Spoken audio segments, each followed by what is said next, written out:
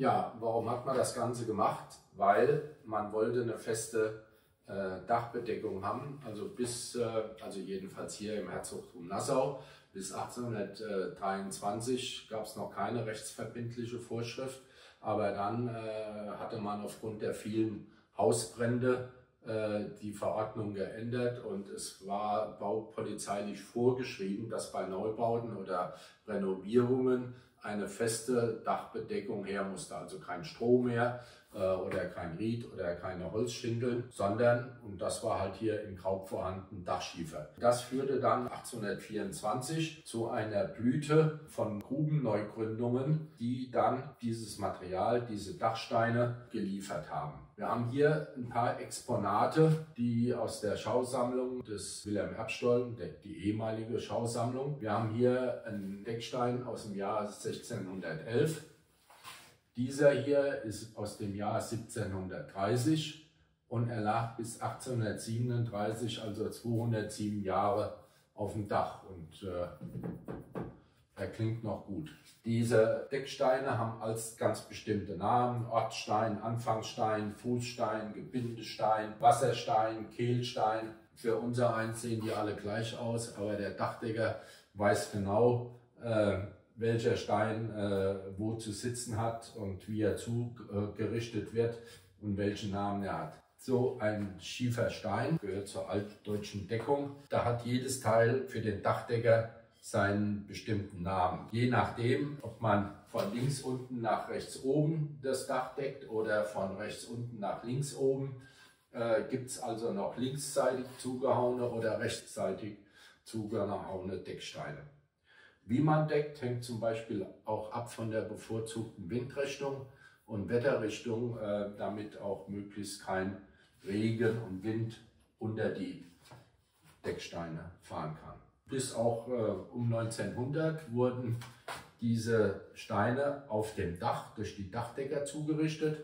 Die hatten dann auch so einen Zurichthammer, allerdings äh, nur mit einer Zacke. Und dann sind die Kugeln auf die Idee gekommen, äh, wir machen das selbst. Äh, das hängt auch damit zusammen, dass äh, sie ja, also die Originalsteine noch an die Dachdecker geliefert haben, für den Abfall Transportkosten zahlen mussten. Und in dem Moment, wo man äh, nur zugerichtete Steine geliefert hat, fiel also äh, dieser Abfalltransport weg. Man hatte also mehr liefern können fürs gleiche Geld. Bei dem, was dem Berg entnommen wurde, war vielleicht nur 10 Prozent verwendbares Material für das Dach. Also der Abfall betrug über 90 Prozent und der musste ja irgendwo hin. Zum Teil, wir haben es ja schon gesehen, hat man ihn unter Tage gelassen in den Abbauten und haben die, die Abbaute mit äh, aufgefüllt. In den Strecken äh, musste man den Abfall aber nach außen bringen und irgendwo außerhalb entsorgen. Die einfachen Gruben haben dann Halten gebildet und den einfach, sag mal, in der Landschaft abgekippt. Hier der Wilhelm Erbstollen hat schon äh, früh äh, 1923 eine Schiefermühle gebaut und hat äh, den Schiefer gemahlen.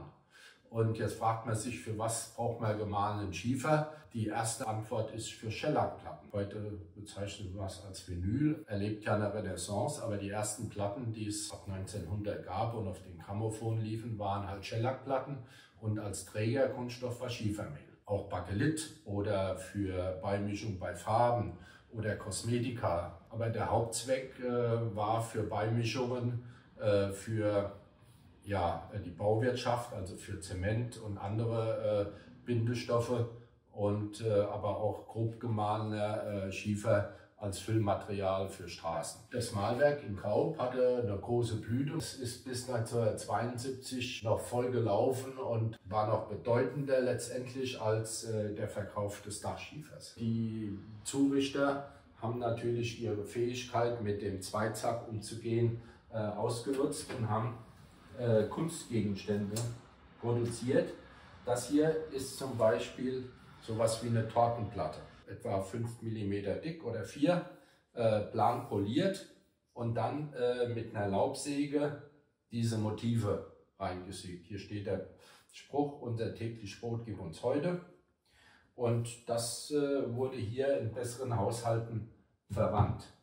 Oder diese Blumenständer und dieser ist genau auf dieselbe Art und Weise gemacht wie diese äh, Kuchenplatte und äh, dieser hier ist nachweislich aus den 1920er Jahren vom Wilhelm Erbstollen, sodass dieser andere Gegenstand hier aus derselben Hand ist und jetzt auch eindeutig zuordnenbar ist. Hier oben haben wir noch eine Schellackplatte äh, mit der Kauber Nationalhymne, das Elsland von Kaub, auch Kauber Schiefer drin. Oder als Gold, all das hat man aus Schiefer machen können.